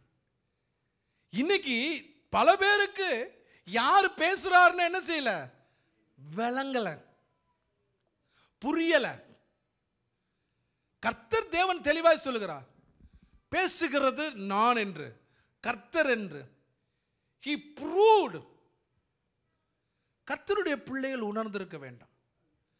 அவர் பாருங்க மோசையோட பேசினாலும் மோசே அதை அறிவதற்கு ஆயத்தம் உள்ளவனா இருந்தான். ஆர்வம் உள்ளதாக இருந்தான். இன்னைக்கு நீங்கள் எப்படி இருக்கீங்க? யார் பேசினாலும் மண்டை ஆட்டுறீங்களா? இல்லை பேசுகிறது தேவன்தானா என்று அரிய ஆவல் உள்ளவர்களாய் போய் புதிய ஏற்பாட்டின் விசுவாசிகளாக நீங்கள் வேதாகமத்தை திறந்து செக் பண்ணுறீங்களா மோசே வேதாகமம் இல்லாததால் அவர்கிட்டே கேட்டான். ஆனால் இன்னைக்கு உங்கள் கையில் என்ன இருக்கு? எழுதப்பட்ட வேதாகமம் இருக்கும்போது you have to check with scripture புதிய ஏற்பாட்டில் அப்படிதான் செஞ்சாங்கன்னு வேதம் சொல்லுது. வேதத்திலே அதை இருக்கிறதா என்று ஆராய்ந்து பார்த்தார்கள் சபைகள் என்று சொல்லுகிறது. இல்லை நீங்க மண்டையை ஆட்டிக்கிட்டு ஐயோ ஆண்டவர் பேசுனான்னு நீங்க போறீங்களா? ஜாக்கிரதை உள்ளவர்களாக இருக்கணும். நீங்க இது தெளிவா இருந்தால் தான் உங்களுக்கு தெளிவான காரியங்கள் புரியும். ஹலே லூயா அப்ப வேதம் தெளிவாய் சொல்லுகிறது. இன்னொரு வசனத்தை கூட ஒரு சம்பவத்தை புதிய ஏற்பாட்டில் ஒரு சம்பவத்தை நான் சொல்லி என்னுடைய இன்ட்ரொடக்ஷன் நான் முடிக்கிறேன். இன்ட்ரொடக்ஷன் இதெல்லாம் இன்ட்ரொடக்ஷன் தான். இன்னும் மெயின் கோர்ஸுக்கு என்னென்ன செய்யலை? போகலை. ஃபஸ்ட்டு உங்களுக்கு என்ன என்ன சொல்லுவாங்க? சாப்பிட்ற சாப்பிட முடியாத கொடுப்பாங்க. ஆஹா. ஸ்டார்டர்ஸ் இல்லைன்னா சலாடு கொடுப்பாங்க. சாலடு சாலடு தான் இப்போ கொடுத்துட்ருக்கோம் உங்களுக்கு. சாலடே இன்னும் இவ்வளோ ஸ்ட்ராங்காக இருக்குன்றீங்களா? வேறு வழியே இல்லை. வாசிங்க. அப்போ சில நடவடிக்கைகள் ஒன்பதாவது அதிகாரம் அப்போ சில நடபடிகள் வாசிங்க ராஜன். ஒன்பது மூன்றாம் வசனம் வாசிங்க. அவன் பிரயாணமாய் போய் அந்த சவுல் என்ற பவுல் பிரயாணமாக போய் தமஸ்குவுக்கு சமீபித்த போது சமஸ்குவுக்கு சமீபத்த போது சடுதியிலே வானத்திலிருந்து ஒரு ஒளி அவனை சுற்றி பிரகாசித்தது. சடுதியில இம்மிடியட்டா வானத்திலிருந்து ஒரு ஒளி அவனை சுற்றி பிரகாசித்தது. அவன் தரையிலே விழுந்தான். உடனே அவன் என்ன செஞ்சான்? அந்த ஒளியை இவனால என்ன செய்ய முடியல? பார்க்க முடியல. நல்லா கவனிங்க. பழைய ஏற்பாட்டில் அக்னியில் இருந்த தேவன் இங்கேயும் அதே அக்னியிலிருந்து பேசினதுனாலே அக்கினியிலிருந்து என்ன வந்துச்சு? ஒரு ஒளி வந்தது. அந்த ஒளியை இவனால் தாங்க முடியாததுனாலே அது சூரியனை விட மிக பிரகாசமாக இருந்தது என்று வேதம் சொல்லுகிறது. கீழே விழுந்துட்டான். தாங்க முடியல. அப்பொழுது அப்பொழுது சவுலே சவுலே நீ என்னை ஏன் துன்பப்படுத்துகிறாய் என்று தன்னுடனே சொல்லுகிற ஒரு சத்தத்தை கேட்டான். அங்கே மோசேயோடு மோசே மோசே என்று சொன்ன மாதிரி அங்கே எத்தனை தடவை சொன்னார் அவர் பேர? பார்த்தீங்கல்ல மோசே? மோசே. இங்க பாருங்க ஆண்டவர் சொல்ற சவுலே நல்லா கவனிங்க. ரகசியத்தை புரிந்து கொள்ளணும். எத்தனை கூப்பிட்டாரு? சங்கீதக்காரன் சொல்லுகிறான் தேவன் ரெண்டு தடவை விளம்பினார். ஒரு தரம்? ஒரு தரம் விளம்பினார். ரெண்டு தடவை? கேட்டிருக்கிறார். அவர் சொல்லும்போது அந்த உடைய அந்த ரிஃப்ளெக்ட் கேக்குது. ஆ, என்ன வாசிங்க? சவுலே சவுலே நீ என்னை ஏன் துன்பப்படுத்துகிறாய் என்னை ஏன் துன்பப்படுத்து என்று சொல்லுகிற ஒரு சத்தத்தை கேட்டான். திடீரென்று ஒரு சத்தத்தை கேட்டான். எப்படி? தன்னுடைய பேரை சொல்லி கூப்பிடுகிற ஒரு சத்தத்தை கேட்டவன் இவன் பயந்துட்டான். என்னடா அது? யாருமே இல்லை. ஒரு ஒளி வானத்திலிருந்து வருது. ஒரு சத்தம் கேட்குது சவுலே சவுலே! என்று கேட்கிறது. உடனே என்ன பாருங்க? அதற்கு அடுத்த வசனம் சொல்லு பாருங்க. அதற்கு அவன் ஆ. ஆண்டவரே! இவன் முதல்ல எடுத்தவனே சொல்றான் பாருங்க. அங்க சொன்ன மாதிரி. மோசே சொன்ன மாதிரியே இவன் டூப்ளிகேஷன் பண்றான். ஆண்டவரே! அப்படின்ற எடுத்தவன் இவனுக்கு யாருன்னு? தெரியல. ஆனாலும் என்ன செய்றான் நிச்சயம் இது ஆண்டவரா தான் இருக்கணும். ஆண்டவரே நீர் யார் என்றார் அடுத்த வசனம் பாருங்க. எடுத்தவன் என்ன சொல்றான் ஆண்டவரே அடுத்தது நீர் யார்? சரி இன்னைக்கு இன்னைக்கு இதுதான் பிரச்சனை.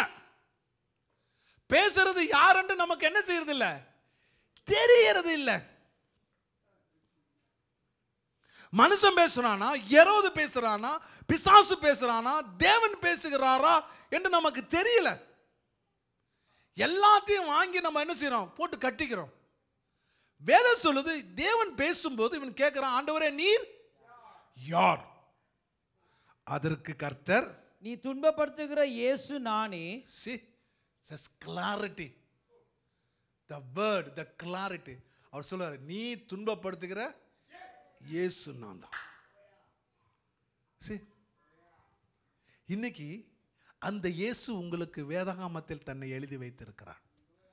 வாட் யூ ஆர் டூயிங் என்ன செய்கிறீங்க ஸ்கிரிப்சரில் ரெஃபர் பண்ணுறீங்களா யார் பேசுனாலும் எப்பேற்பட்ட ஊழியக்காரங்க பேசினாலும் யாராக இருந்தாலும் ராஜாவாக இருந்தாலும் ராஜவஸ்திரம் தரித்திருந்தாலும் சரப்பணிகள் போட்டிருந்தாலும் கழுத்தில் பெரிய சிலுவையை போட்டிருந்தாலும் சரி தூக்க வேண்டிய சிலுவையை ஆண்டவர் உன் சிலுவை எடுத்துக்கொண்டு வர சொன்னார். கழுத்தில் மாட்டிக்கொண்டுன்னு ஒரு சொல்லவே இல்லை.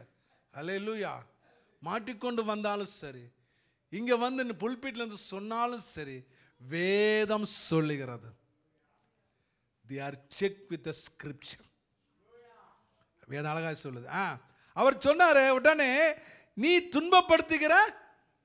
இயேசு இயேசு சொல்கிறாரு அவரே சொல்கிறாரு இயேசு அப்படின்னா நீங்கள் யார் என்று கேட்கும்போது உங்களுக்கு தன்னை நி- பேசுகிறது நான் தான் என்று நிரூபிக்கத்தக்க இயேசு இன்றும் சிவனோடு இருக்கிறார்.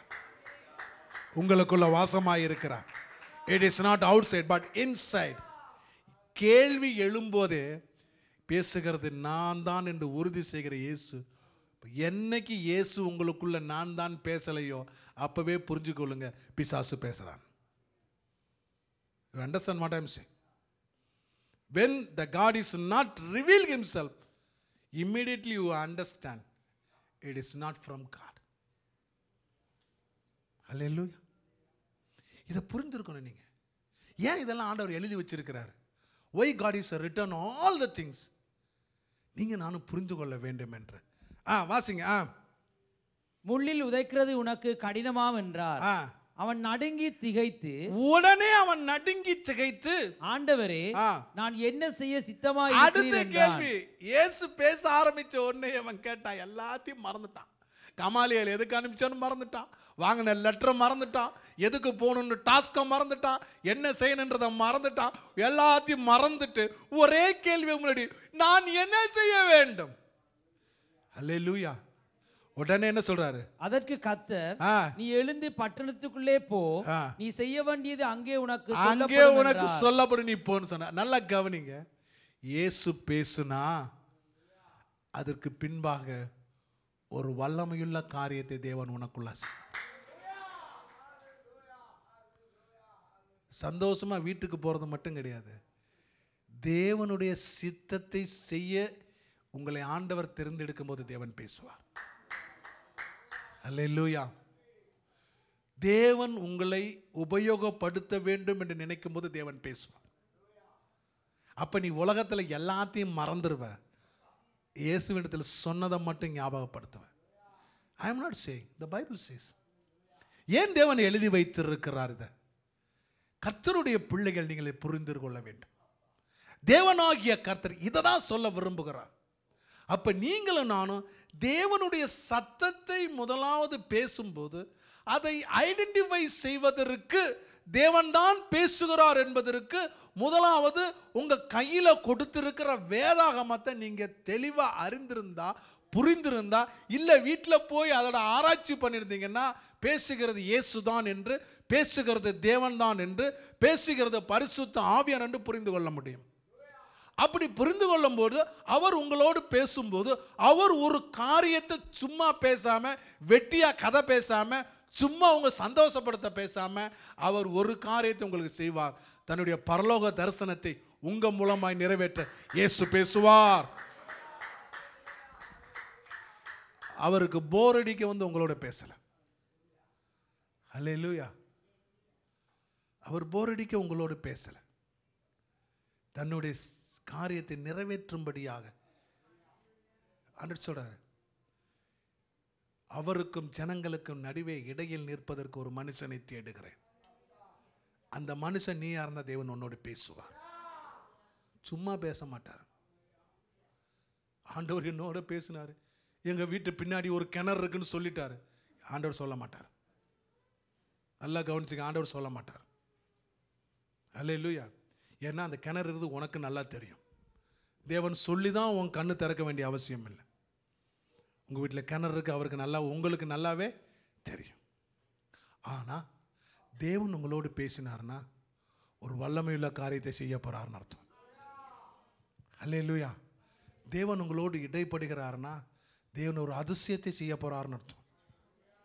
சவுலை உபயோகப்படுத்தின தேவன் மோசையை உபயோகப்படுத்தின மோசே எகிப்திலிருந்து ஜனத்தை பிரித்தான். சவுல் பாவ எகிப்திலிருந்து ஜனங்களை பிரித்தான். அல்ல லூயா மறுபடியும் சொல்கிறேன் மோசே தேவன் அவனோடு பேசிய போது அவன் பார்வோனின் அடிமைத்தனத்திலிருந்து ஜனங்களை பிரித்தெடுத்து காணான்னு கொண்டு போனான். புதிய ஏற்பாட்டிலே ஆவிக்குரிய ஜனங்களை பிசாசினுடைய அடிமைத்திலிருந்து பிரித்தெடுத்து பரலோக தரிசனத்தை கொடுத்து அவர்களை வழி நடத்தினா சவுல் என்ற பவுல். பேசினது தேவன். அல்லேலூயா. நீங்கள் உங்களோடு தேவன் பேசுகிறார் என்றால் அதில் ஒரு டாஸ்க் இருக்கும். அல்லேலூயா. அதில் ஒரு காரியம் இருக்கும். அப்போ நீங்கள் நானும் புரிந்து கொள்ளணும். நீங்கள் கேட்கலாம் சரி பாஸ்டர் நல்லா இருக்கு நீங்கள் சொல்கிறது அப்போ சின்ன பசங்களோடு தேவன் பேசுவாரா? பேசுவார். எப்படி பேசுவார்? எடுத்தவர்கள் வாசிங்க. ஒன்று சாமுவேலின் புஸ்தகம். மூன்றாவது அதிகாரம். எல்லாருக்கும் தெரிஞ்ச வசனம். நீங்கள் கூட இந்த பைபிள் ஸ்டடியில் என்ன என்ன ஒரு வச்சிருந்தீங்க? என்ன என்னது? கிளப்? Samuel club. ஆ வாசிங்க. ஒன்று சாமுவேலின் புஸ்தகம் மூன்றாவது அதிகாரம் நான்காவது வசனத்தை வாசிங்க. அப்பொழுது கர்த்தர் அப்பொழுது கர்த்தர் சாமுவேலை கூப்பிட்டார். சாமுவேலை என்ன செய்தார்? கூப்பிட்டார். நல்லா கவனிங்க. தேவன் யாரை கூப்பிட்டார்? சாமுவேலை கூப்பிட்டார். அதற்கு அவன் இதோ இருக்கிறேன் என்று சொல்லி இதோ இருக்கிறேன் என்று சொல்லி ஏலியினிடத்தில் ஓடி ஆ நல்லா கவனிங்க ஏழையின் இடத்தில் ஓடி இதோ இருக்கிறேன் என்னை கூப்பிட்டீரே என்றான். நல்லா கவனிங்க. சாமுவேலை கூப்பிட்டது யாரு? இவன் யார்கிட்ட போய் நின்னான்? யார்கிட்ட போய் விசாரிக்கிறான்? அப்ப இவனுக்கு என்ன தெரியாது? தேவனை தெரியாது. இவனுக்கு தெரிஞ்சதெல்லாம் யாரு? ஏலி. இவன் இவன் கூட இருந்தது யாரு? ஏலி. ஏலி தான் கூப்பிட்டான்னு நினைச்சிட்டு இருக்கான். நல்லா கவனிங்க. You have to understand that something secret வேத மாளிகை சொல்லுது. ஒன்றாம் வசனம் பாருங்க. மூன்றாவது ஒன்றாம் வசனம். சாமுவேல் என்னும் பிள்ளையாண்டான் ஏலிக்கு முன்பாக கர்த்தருக்கு பணிவிடை செய்து நல்லா பாருங்க. சாமுவேல் என்ற பிள்ளை ஆண்டான். என்ன ஆண்டான்? பிள்ளை ஆண்டான். இந்த பிள்ளை ஆண்டான் சின்ன பையன். பெரியவனுக்கு பேர் பிள்ளை ஆண்டான் கிடையாது. அல்லேலூயா. இந்த சின்ன பிள்ளை ஆண்டான் என்ன செஞ்சானா ஏலிக்கு முன்பாக யாருக்கு பணிவிடை செய்தான்? நல்ல கவனிங்க. ஏலிக்கு முன்பாக கர்த்தருக்கு பணிவிடை செய்தான். அந்நாட்களிலே அந்நாட்களிலே கர்த்தருடைய வசனம் இருந்தது நல்லா கவனிங்க. என்னவா அபூர்வமா இருந்தது. பிரத்யட்சமான தரிசனம் இருந்ததில்லை. பிரத்யேகமான தரிசனம் இருந்ததில்லை ஆனா புதிய ஏற்பாட்டின் காலத்துல கர்த்தருடைய வசனம் அபூர்வமா இல்ல உன் கரங்களில் கொடுக்கப்பட்டு இருக்கிறது கரங்களை தேடி நன்றி சொல்லுங்க. Don't compare this things to the new testament பழைய ஏற்பாடு இந்த காரியத்தை சொல்லி புதிய ஏற்று ஜனங்களை ஏமாத்தக்கூடாது. அல்ல இல்லையா புதிய ஏற்பாட்டில் என்ன இருக்குது பழைய ஏற்பாட்டில் இது இல்லை. பிரச்சினமாக ஆண்டவர் போதிக்கலை. அபூர்வமாக இருந்த வசனம் தீர்க்கதரிசிகள் மட்டும் பேசினாங்க. அமைதலாக இருந்த காலத்தில் தேவன் பேச ஆரம்பித்தார். புதிய ஏற்பாட்டில் தேவன் பேசுவார். ஆனால் ஏற்கனவே உங்களுக்கு பேசி எழுதி கொடுத்துருக்கிறார். ஹலே அல்லேலூயா இப்போ நீங்கள் புரிந்து கொள்ளணும். எவனாச்சும் வந்து சொல்கிறேன் என் பிள்ளை வந்து நேற்று ராத்திரி இயேசுவை பார்த்துச்சுன்னா இங்கே வா. இயேசு எப்படி பார்த்த நீ? உனக்கு இயேசு வேதம் அடுத்த பாருங்க. அதுக்கு குவாலிட்டி சொல்கிற பாருங்க. சாமுவேலின் பிள்ளையாண்டான். அவன் பிறந்ததே தேவனுக்கு பணிவிடை செய்யும்படியாக அவளுடைய தாய் அண்ணால் கர்த்தருடைய சமூகத்தில் இருதயத்தை உடைத்து ஊற்றி பொருத்தனை பண்ணி பெண் பிறந்த பிள்ளை. உன் பிள்ளை என்ன பொருத்தனையா பண்ணு நீ? ஆ? உன் பிள்ளை என்ன பொருத்தனையா பண்ண? இல்லை உன் பிள்ளைய கொண்டாந்து சர்ச்சில் விட்டியா டாக்டருக்கு படிக்க வைக்கணும் நீ என்ன கொண்டு ஸ்கூலில் விட்டுட்டு இருக்க. ஆண்டவர் என் பிள்ளையிட பேசுனான்னு சொல்கிறேன் வேதம் என்ன சொல்லுது? ஏலிக்கு முன்னாடி அவன் என்ன செய்தானாம் கர்த்தருக்கு? அப்ப அந்த சின்ன வயசுலயே ஹி சருதலாட் தேவனுக்கு அவன் பணிவிடை செய்தான் ஏலிக்கு முன்பாக. அப்படின்னு அர்த்தம்? Under supervision of Eli. ஏலிக்கு சூப்பர்வைசன்ல தேவனுக்கு பணிவிடை செய்தான். முதலாவது உன் பிள்ளையோட தேவன் பேசணும்னா அவனுடைய காரியம் எப்படி இருக்கணும்? அவன் எப்படிப்பட்டவனாய் மாறணும்? தேவனுக்கு under the supervise is very important under the supervise ஏன்னா அவனுக்கு சொல்லி கொடுக்கறதுக்கு ஒரு மென்டர் அவசியம். மென்டர் இல்லாத ஊழியக்காரன் ஒரு நாள் உருப்பட முடியாது. தலைவன் இல்லாத எந்த ஊழியக்காரனும் ஒரு நாள் இருக்க முடியாது. எங்களுக்கெல்லாம் மூணு கவுன்சிலர் இருக்காங்க. நான் இண்டிபெண்டன்ட் மினிஸ்டர் எனக்கு மூணு கவுன்சிலர் இருக்காங்க. அவங்களை கேட்டு தான் நாங்கள் செய்வோம்.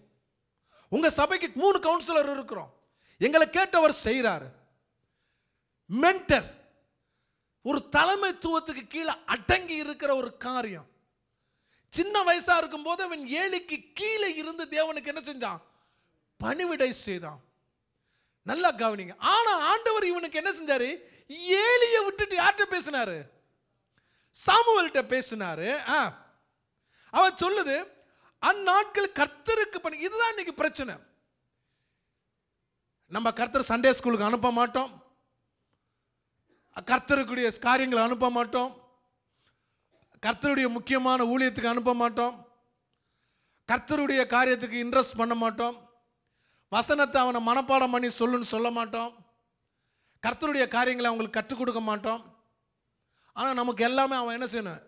டாக்டர் ஆகணும் வக்கீல் ஆகணும் பெரிய ஆகணும். ஆனால் தேவன் அவனோட பேசணும். எங்கே பேசுவார்? வேற தெளிவாக சொல்லுது. தேவனிடத்தில் பணிவிடை செய்து கொண்டிருந்தானா? யாரு? Samuel. Is not ordinary child is dedicated is entire life even childhood to the kingdom of God ஒப்பு கொடுத்து ஜோம் பண்ணிட்டு இருந்தான். ஆ வாசிங்க ஆ. அதற்கு அவன் நான் கூப்பிடவில்லை திரும்பி உடனே அப்ப அடுத்த வசனம் பாருங்க ரெண்டாம் வசனம். ஒரு நாள் ஏலி தன்னுடைய ஸ்தானத்திலே படுத்துக் கொண்டிருந்தான் ஏலி தன்னுடைய ஸ்தானத்திலே படுத்துக் கொண்டிருந்தான் அவன் பார்க்க கூடாதபடிக்கு அவனுடைய கண்கள் இருள் அடைந்திருந்தது. அவன் பார்க்க கூடாதபடிக்கு அவன் கண்கள் இருளடை நல்ல கவனிங்க. இவன் ரொம்ப கேவனாயிட்டான் நல்ல கவனிங்க. என்னவா? கிழவனாயிட்டான். ஆனா இவனுக்கு பின்பாக ஒரு தீர்க்கதரிசி தேவன் உருவாக்க நினைத்தாரு. ஆகையினால் அவனை கொண்டாந்து இங்க விட்டாரு. அல்லேலூயா அப்ப ஏலிக்கு தெரியும். ஏலியின் புத்திரர் ஒருத்தனுமே சரியில்லை. ஆகையினால ஆண்டவர் அந்த தேவன் கொண்டாந்து சாமுவேலை கொண்டாந்து விட்டார். இவன் கூட படுத்திருக்கான். அடுத்த வசனம் சொல்லுது பாருங்க. தேவனுடைய பெட்டி இருக்கிற கர்த்தருடைய ஆலயத்தில் தேவனுடைய பெட்டி இருக்கிற கர்த்தருடைய ஆலயத்தில் தேவனுடைய வசனம் இருக்கிற கர்த்தருடைய ஆலயத்தில் தேவனுடைய பெட்டிக்குள்ள என்ன இருந்துச்சு? எழுதப்பட்ட கற்பலைகள் வசனம் இருந்துச்சு. தேவனுடைய அற்புதம் செய்தப்பட்ட மன்னா பெற்றுக்கொண்ட அந்த பொற்பாத்திரம் இருந்தது ஆரோனுடைய துளிர்த்த கோல் இருந்தது. இது மூன்று வைக்கப்பட்ட அந்த பெட்டி இருந்த இடத்துல ஆ தேவனுடைய விளக்கு அணைந்து போகும் முன்னே தேவனுடைய விளக்கு. இட் இஸ் நாட் ஆலயத்தின் விளக்கு. நல்ல கவனிங்க. வேதம் சொல்லுது தேவனுடைய விளக்கு அணைந்து போகும் முன்னே சாமுவேல் படுத்து எங்க. படுத்திருந்தான்? பெட்டிக்கு பக்கத்துல. அல்லேலூயா எங்க படுத்திருந்தான்?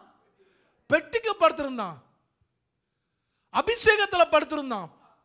அனாயிண்டிங்ல படுத்திருந்தான். பிரசன்னத்தில் படுத்திருந்தான். தேவன் அவனோடு பேசினார்.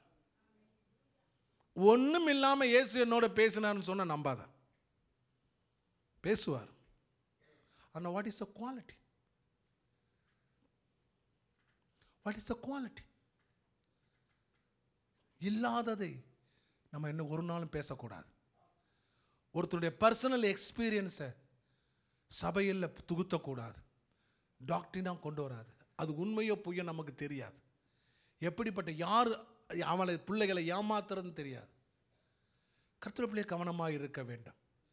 டிவியில் சொல்கிறாங்க அங்கே சொல்கிறாங்க இங்கே சாட்சி சொல்கிறாங்க இவங்க சாட்சி சொல்கிறாங்க அப்படிலாம் எதை கேட்டாலும் இங்கே ஒரு காதில் வாங்கிட்டு இன்னொரு காதில் விட்டுருங்க. ஹalleluya வேத வசனத்தை சொல்கிறத ரெண்டு காதல் வாங்கி உள்ளே வைங்க. இதை வைக்க வேண்டிய இடத்துல வைங்க.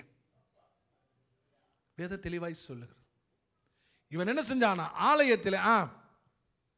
அப்பொழுது கர்த்தர் சாமுவேலை கூப்பிட்டார். அப்பொழுது கர்த்தர் சாமுவேலை கூப்பிட்டார். அதற்கு அவன் இதோ இருக்கிறேன் என்று சொல்லி அப்பதான் கர்த்தர் என்ன செய்தாரு? சாமுவேலை கூப்பிட்டார். அப்ப சாமுவேலை கூப்பிடுறதுக்கு முன்னாடி ஒரு ப்ராசஸ் இருந்துச்சு. அல்லேலூயா என்ன இருந்துச்சு? ஒரு ப்ராசஸ் இந்த ப்ராசஸில் அவன் கடந்து போகும்போது தேவன் அவனோடு பேசினார். கடைசியில் யோசிக்கணும் தேவனுடைய சத்தத்தை இவன் கேட்டான் ஆனால் அவனுக்கு தெரியல. ஸோ இதனுடைய கண்டினியூட்டியை ஒம்பது மணி ஆயிடுச்சு. நாளைக்கு உங்களுக்கு இதை குறித்து உங்களுக்கு இதை அந்த கண்டினியூட்டிவ் அப்படியே உங்களுக்கு பேசிக்கொண்டு நான் வருவேன். நீங்கள் ஜோம் பண்ணிட்டு வாங்க. கர்த்தரை உபயோகப்படுத்த வேண்டும் என்று. நம்மளாம் எழுந்து நின்று ஜெபிக்கலாம். இல்லையா எத்தனை பேருக்கு நான் சொன்னது கர்த்தர் பேசுனது புரிஞ்சுச்சு. விளங்குனவங்க ஒரு அல்லேலியா சொல்லுங்க. விளங்காதவங்கள ஒரு அல்லேலியா சொல்லுங்க. கருத்து நல்லவர். ஹalleluya கண்களை மூடி பாஸ்டர் அவங்க ஜெபத்தில் நடத்துவாங்க வாங்க பாஸ்டர். தேங்க்யூ லா கண்களை மூடி நம்ம செப்பிப்போமா